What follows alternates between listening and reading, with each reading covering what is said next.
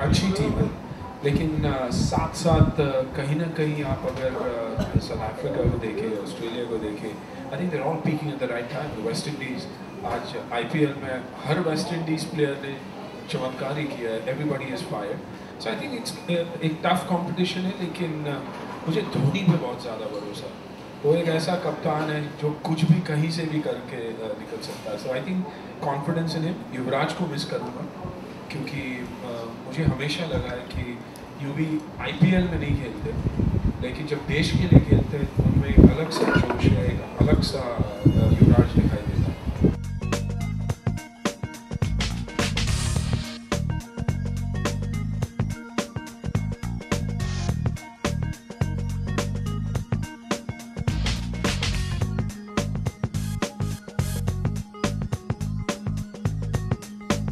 जसं हर्षाने सांगितलं जास्त क्रिकेट झालेलं आहे. आणि टॅक्सिंग पण आहे बॉडीवर क्रिकेटर्सवर तो तुम्ही इंजरीज बघतात.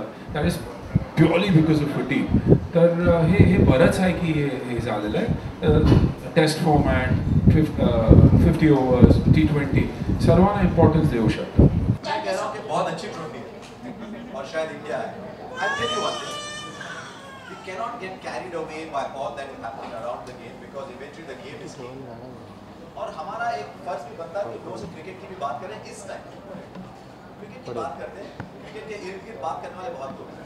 दो मला एवढं नाही वाटत मला टुर्नामेंटचा फॉर्मॅट आवडतो पण खूप जास्त टुर्नामेंट्स होते त्यांनी विचार केलेला आहे त्यांना आय सी सी टेस्ट चॅम्पियनशिप सुरू करायची पण तुम्ही T twenty World Cup fifty overs World Cup test championship आणि मग आणखी एक टुर्नामेंट हा जास्त होतो तो विचार असला पाहिजे त्याच्या मागे कारण ऍक्च्युली ही टुर्नामेंट वर्ल्ड टेस्ट चॅम्पियनशिप व्हायची होती पण म्हणून ही शेवटची एक ठरली तर काही ना काहीतरी सोडायलाच पाहिजे Rotten, rotten eggs are there in every field, every sport, everywhere in life. I think, you know, what, what would come out of this IPL is the fact that the youth would realize that you cannot and should be involved in anything else because you're le- letting down your fans and your uh, motherland. So I think uh, it's guilty. They will hate. But if they're not, you can't you, you can't kill IPL. I mean, I'm a big fan of cricket. I'm not a part of the BCCI or the sports body, but I love my cricket. And just because of a few names, and, and that's because the people are throwing names, it doesn't mean anything. For me, ev- every time there is a discussion, they say Bollywood's involved, Bollywood's involved. For me, Bollywood is me. For me, Bollywood is Ajay. For me, Bollywood is Amir. For me, what? It's not just one individual. If he's wrong, hang him. But not till he's proven guilty. You know, so I think we speculate too much. It, it, it's one of our most popular sports. It's an alternate career for, for, for a kid today.